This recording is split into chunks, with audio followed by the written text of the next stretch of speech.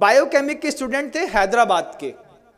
हैदराबाद के बायोकेमिकल के स्टूडेंट में, जब बायोकेमिकल के स्टूडेंट ने हैदराबाद में अपनी पढ़ाई पूरी करी तो हैदराबाद के मेयर को एक चिंता हुई कि हमारे यहाँ जो सीवर की पाइपलाइन है, वो सीवर की जो पाइपलाइन है बहुत ज़्यादा होती है, उससे मटेरियल जो है, वो एवरीडे बहुत ज़्यादा प्रोड्यूस होता है। तो मटेरियल को डिजॉल्व करने के लिए उनके पास कोई स्पॉट या कोई चीज़ दिखाई नहीं दे रही थी। आप क्या सोचते हैं, कोई क्या कर सकता है? जब ये क्वेश्चन मेयर के दिमाग में खड़ा हुआ कि जो मतलब मैन का बायो प्रोडक्ट है, जो भी मल वगैरह निष्कासित होता है तो सीवर कनेक्टेड कर दिया। सबके यहाँ के सेप्टिक टैंक हैदराबाद में अलग कर दिए।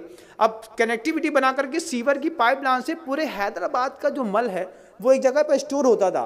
तो उसको ख़त्म करने के लिए क्या दिमाग कोई चलाएगा? तो बायोकेमिकल के स्टूडेंट ने उसमें लिक्विड क्लोरीन डाल करके उस पीले को व्हाइट कर दिया।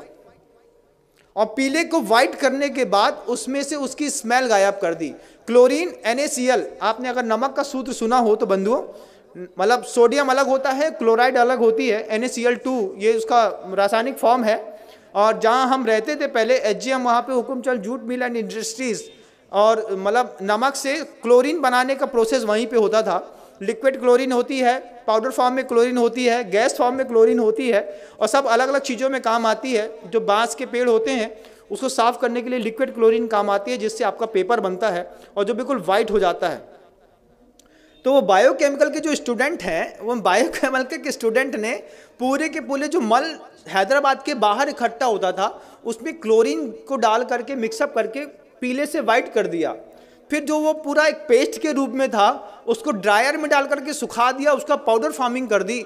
और सबसे बड़ी बात तो ये है कि कानपुर की गुटखा फैक्ट्रियों में बेच करके बड़ी बड़ी कंपनियों के गुटकों में पैक होकर के, वो मल लोगों को पाउच में अंदर तक खिला दिया। ये ज्ञान के दुरुपयोग का युग है बंधुओं। आपको आश्चर्य होगा, लगता है ना? कि हम जिस कंपनी का गुटखा खाते हैं, ये तो बहुत फ्रेश है और बढ़िया है। जब आपको पता चले कि बायोकेमिक के स्टूडेंट की इतनी बड़ी करामात है कि उसने पूरे के पूरे मानव के बायो प्रोडक्ट को क्लोरीन डाल करके, उसकी स्मेल हटा करके और उसको गुटके में मिला करके उसमें फ्रेग्रेंस मिला दिया। फ्रेग्रेंस का कारोबार कितना बड़ा है, कभी आप सोच भी नहीं सकते। कुछ नहीं सोच सकते और आपको तो खुलते ही साथ ही खुशबू आती है तेज स्मेल आप किसी भी कंपनी के गुटके को पाँच मिनट के लिए एक पानी में डाल दीजिए। थोड़ी देर उसको हाथ से मसल के देखिए, फिर आपको पता चलेगा जब इसकी स्मेल हट जाएगी, फिर उसको खा के देखिए, तब पता चलेगा कि हम अपने मुँह में क्या खाते हैं। उसमें चूना और कांच दोनों मिलाया जाता है कि कांच से, बारीक कांच का पाउडर रहता है जिससे आपकी जबान थोड़ी सी कटती है और चूना उसके ऊपर लगता है तो आपको थोड़ी सरसराहट सी होती है।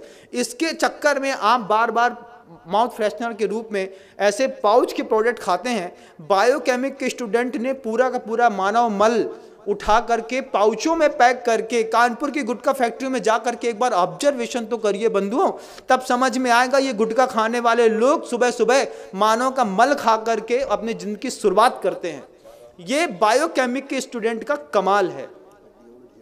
हड्डियों का ढेर मिलता है, दुनिया भर की चीज़ें मिलती हैं। स्मॉल स्केल इंडस्ट्रीज़ तीन शब्द याद रखिएगा। क्या?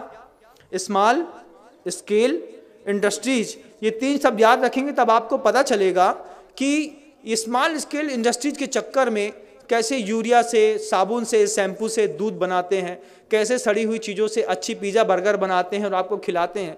जो हमारे यहाँ का व्यंजन ही नहीं था, वो सब हम आप खा रहे हैं, वो सब कुछ कर रहे हैं। ये स्मॉल स्केल, इंडस्ट्रीज़ का कमाल